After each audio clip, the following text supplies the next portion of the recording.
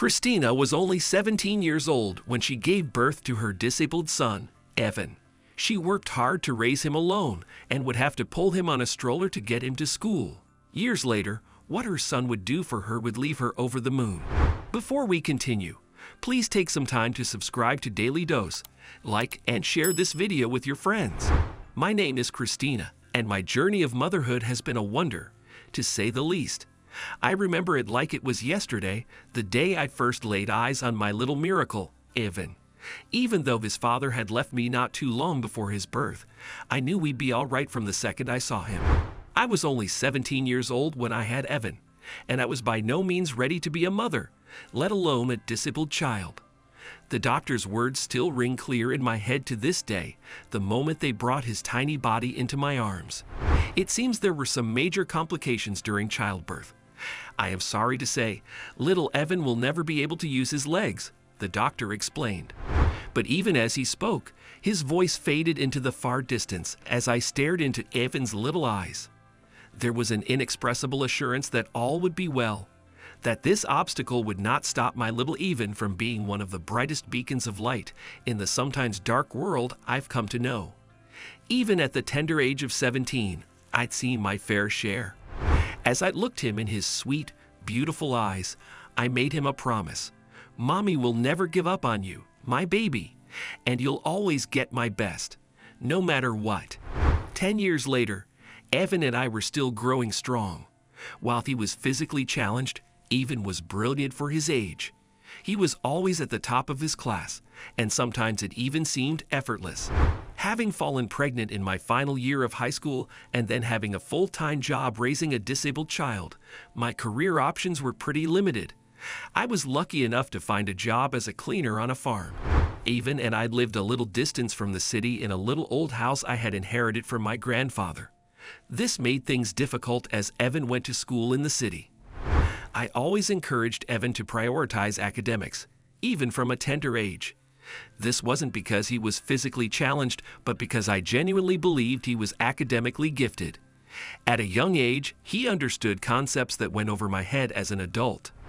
Evan, you need to study hard, okay.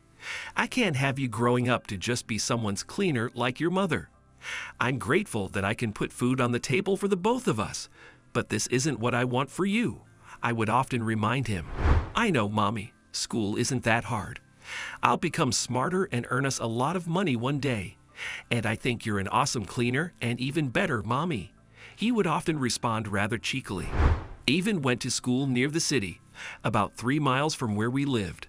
Unfortunately for us, because of Evan's disability, he couldn't walk to school, and the school bus couldn't pick him up from home because there wasn't a road there.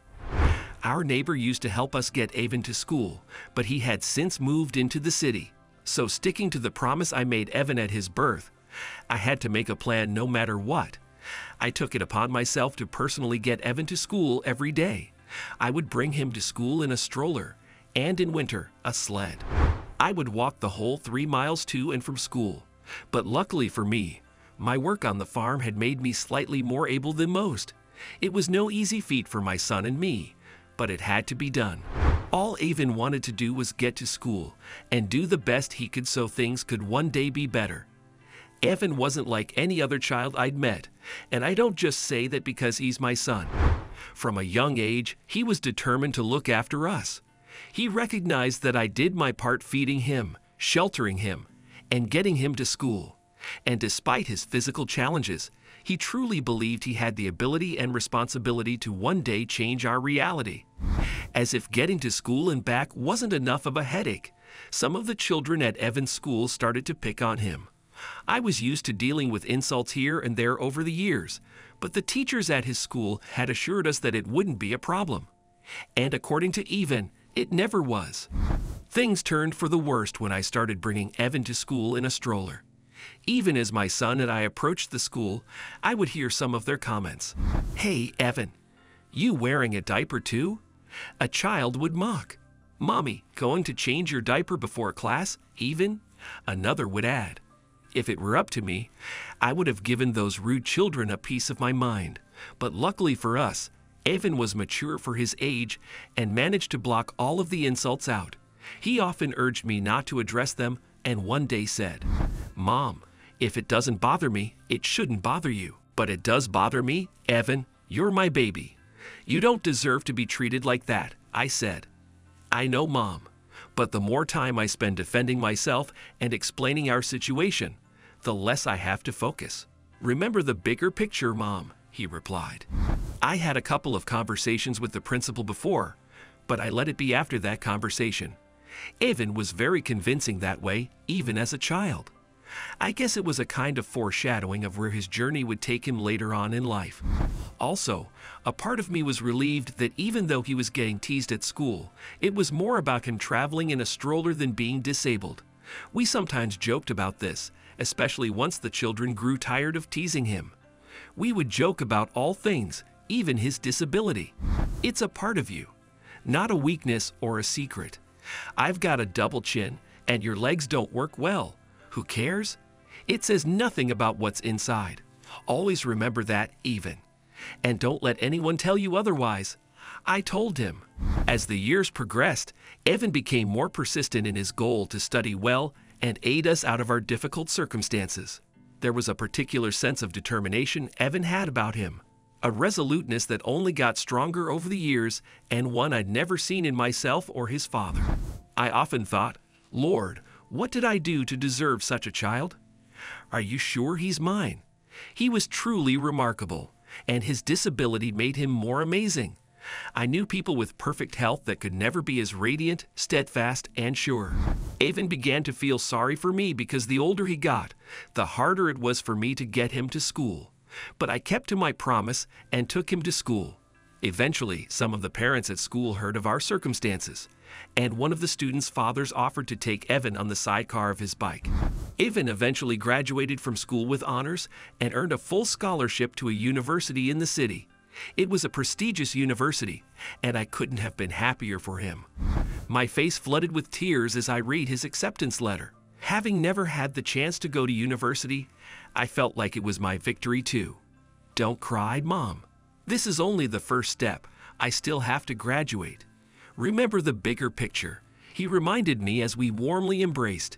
Evan had chosen to study it primarily because of the prospect of working from home. He could have easily gotten into any other course with his grades, but he was sure this was the path he wanted to take. He was also stoked that the university had state-of-the-art facilities for disabled students.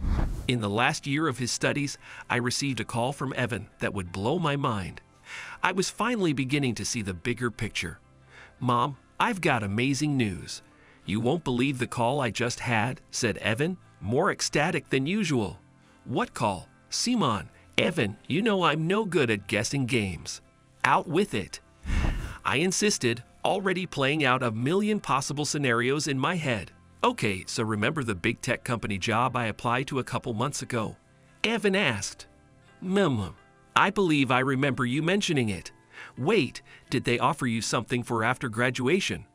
I asked before going into a frenzy. Mom, calm down. No, they didn't offer me anything for after graduation, he answered. Um, I don't understand. What are you telling me, Evan? I asked, befuddled. They offered me a job, and they want me to start this summer. I'll be working for them as I wrap up my final year. They even said they'd be flexible with my schedule so I can handle work and my studies, he explained. Oh, wow! My love, I'm so proud of you. I screamed, unable to contain my excitement. That's not even the best part. The pay is really, really good, Mom. I've already found a lovely apartment in the city, he said. I was completely over the moon, and I think I may have even annoyed my son a little. We stayed up for hours as I asked him a million questions about the new job. Evan was getting paid three times what I was making. With his first salary, he was able to buy me everything that I had been saving up for months. I finally saw the bigger picture, and it was only the beginning. In just three years, Evan was able to work up to a senior position in the company. With his new income, Evan was able to undergo surgery that allowed him to walk. He still had a bit of a limp and had to go for physiotherapy every week, but it was a huge step forward from the doctor's diagnosis all those years back. I'll never forget the day he came to pick me up in his brand new luxury SUV. Having my son drive me in this beautiful car was the most wonderful feeling. As we passed his old school, I remembered all those days walking those three miles in the stroller. And now my son was driving me around in an SUV. Evan had rented out a new apartment in the city and decided he would take full custody of me. The bigger picture he talked of all those years had become our reality, and I couldn't be prouder or happier. It was just the two of us again, but the circumstances were completely different this time.